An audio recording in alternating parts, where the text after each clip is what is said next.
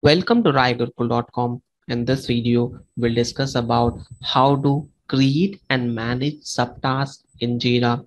Generally, creating a subtask is required when we have any particular task which is extending their timelines. So here, the Scrum Master or project manager or project owner is dividing complete task into small small individual activity so that that can be assigned to different portions or that can be covered in different time durations. So we'll see here how to create and manage subtasks in jira.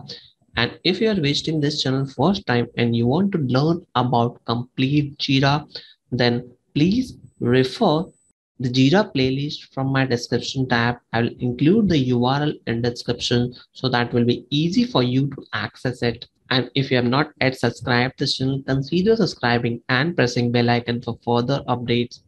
For creating a task, simply we have to go to the task, click on create, add some task. So just add, this is a new task. Click on create. Once we'll create a task, just go to that task and see here we have create subtask. We can also configure subtask from this button. So generally when we'll select like task story bug and uh, these all components we can also access access this subtask from here as well. Right now we have created task and we are going to divide into some small, small subtask activity. So let's consider this task is created for the deployment or this task is created for any deployment.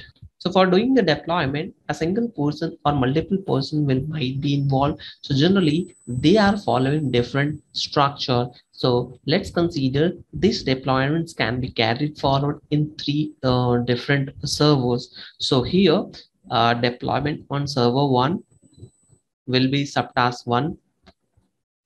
On server one click on create. So let's copy this and create a new task here. On clicking plus icon and deployment on server 2 click on create. Deployment on server on 3 click on create. These are the individual subtasks which we have created. But what if we have any additional activity like taking an approval? So here, approval for server one, approval for server one. This approval might be required for different things like from infosec approval, from the server owner approval, or management or business team approval. So here we can also further divide into several other category like we can also add some subtasks related to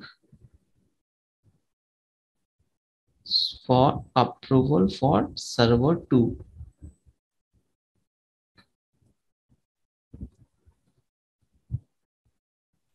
click on create then approval for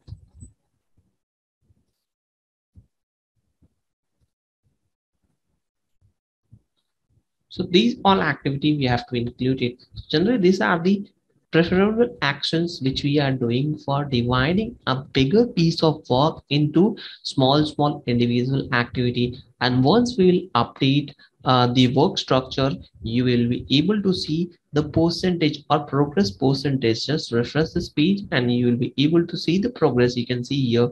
Let's update this one as well. And now that will be updated with something else. Now you can see here we have 33% done activities done. Now we can also hide our done task and we can also update bulk edit. Let's say i want to make all this task to be updated as done. So here we'll click next. And right now we are going to edit this issues I want to just update the status. We don't have that status column.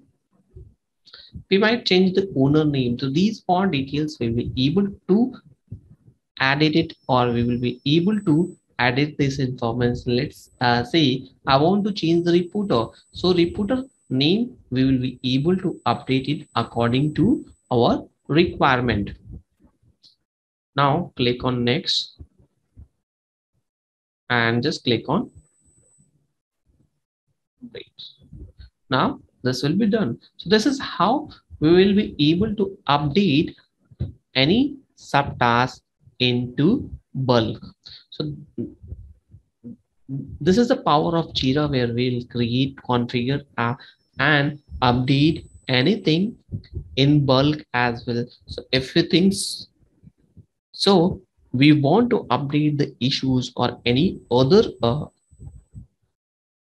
items like story, epic, or feature or task will also able to update it. I've already created one video on bulk update.